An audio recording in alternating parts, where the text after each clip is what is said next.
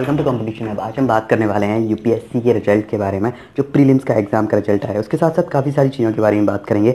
उससे पहले एक अपडेट है, मैं, वो मैं आपको दे देता हूँ। वो ये है कि इंडियाज़ लार्जेस्ट लर्निंग प्लेटफॉर्म के साथ जिसका नाम है अन अकेडमी के साथ अब कंपटीशन आप जुड़ने वाला है। तो अभी तक आपने एजुकेशन से रिलेटेड आप वीडियो एजुकेशन से रिलेटेड कोई भी वीडियो आप देखना चाहते हो तो अभी तक आपने इंस्टॉल नहीं किया इस पर्टिकुलर ऐप को अन अकेडमी ऐप को तो आप इंस्टॉल कर सकते हैं गूगल प्ले स्टोर से। साथ साथ मुझे मेरी वीडियो देखने के लिए फॉलो करना चाहें तो आप H T P S slash slash Unacademy dot com slash user slash competition hub three से भी फॉलो कर सकते हैं। चलिए हम बात करते हैं जो रिज़ल्ट जो आज डिक्लेयर हुआ है। आज दोपहर में ये रिज़ल्ट आ गया थर्टीन जुलाई को। सॉरी फोर्टीन जुलाई को दोपहर में रिज़ल्ट आया है। तो आफ्टरनून में जो रिज़ल्ट आया, ये जो एग्ज़ाम कंडक्ट हुआ था तीन छः दो हज़ार अट्ठारह को। लाखों लोग इसमें अपेयर हुए थे और लाखों लोग इसके रिज़ल्ट का वेट कर रहे थे, मगर हज़ारों को इसमें क्वालिफाई किया गया है। ठीक है तो अब क्या होगा?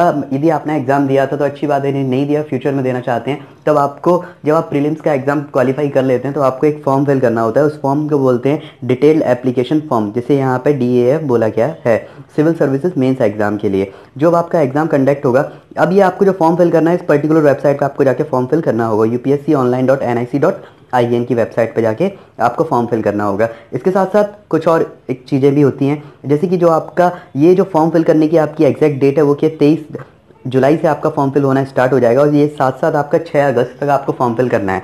तो इतना टाइम मिलेगा आपको 12 तेरह दिन मिलेंगे। इसके साथ साथ 6 अगस्त को अगस्त को 6 पीएम तक आप फॉर्म फिल कर सकते हैं। और जो आपका मेंस का एग्ज़ाम होगा, वो आपका 28 के अप्रॉक्स आपका एग्ज़ाम होगा सेप्टेम्बर में।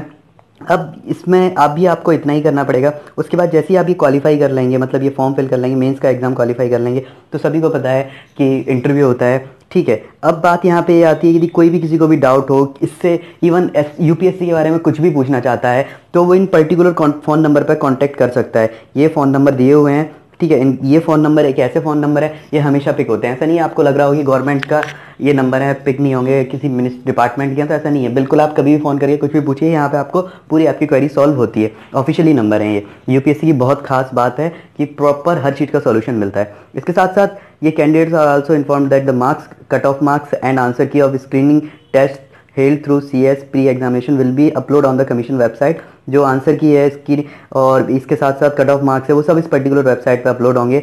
ठीक है? After the declaration of final result of civil services examination 2018 तो यही सारी न्यूज़ है, जो यूपीएससी का एग्ज़ाम जिन लोगों ने दिया है, उनके लिए जिनका क्वालिफाई हो गया है all the best thank you so much for giving you a valuable time और अच्छे से प्रिपरेशन कीजिए। Thank you so much